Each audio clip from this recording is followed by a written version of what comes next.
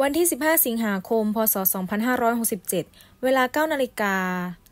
นายพาคินติรพงษ์ไพบูลย์นายกเทศมนตรีเมืองมหาสารคาม มอบหมายให้นายกมลราชู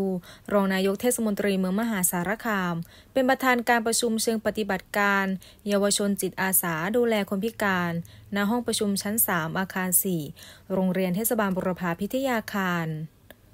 โดยมีนางนัทยายมไทยสงฆ์ ผู้อำนวยการสำนักสาธารณสุขและสิ่งแวดล้อมกล่าวรายงานวัตถุประสงค์การดำเนินโครงการสำหรับผู้เข้าร่วมกิจกรรมในครั้งนี้ประกอบด้วย นักเรียนชั้นมัธยมศึกษาปีที่ 1